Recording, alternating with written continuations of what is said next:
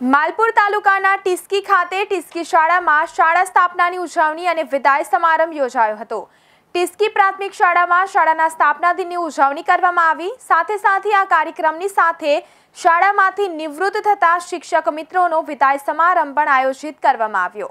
શાળાના મુખ્ય શિક્ષક દ્વારા આવેલ તમામ મહેમાનોનું ઉમળકાભેર સ્વાગત કરવામાં આવ્યું તો આ કાર્યક્રમમાં મુખ્ય મહેમાન તરીકે માલપુર તાલુકા પંચાયતના પ્રમુખ સંજયભાઈ પટેલ તથા શિક્ષક મિત્રો સ્નેહીજનો ગ્રામજનો અને બાળકો મોટી સંખ્યામાં ઉપસ્થિત રહ્યા કાર્યક્રમ અનુરૂપ સુંદર રીતે આ શુભ દિનની ઉજવણી કરવામાં આવી. તો શાળા પરિવાર તરફથી નિવૃત્ત થતા શિક્ષકનું સન્માન કરવામાં આવ્યું. આ પ્રસંગે ઉપસ્થિત તાલુકા પંચાયતના પ્રમુખ દ્વારા શાળામાં પ્રાર્થના સંમેલન માટેના શેડ માટે રૂપિયા બે લાખની ગ્રાન્ટની ફાળવણી કરવામાં આવી તેમજ શાળામાં ઉપસ્થિત તમામ મહેમાનો ગ્રામજનો અને બાળકો માટે ભોજન સમારંભનું આયોજન કરવામાં આવ્યું હતું શાળાના આચાર્ય દ્વારા કાર્યક્રમમાં ઉપસ્થિત રહી કાર્યક્રમને સફળ બનાવવા બદલ ઉપસ્થિત સર્વેનો આભાર વ્યક્ત કર્યો હતો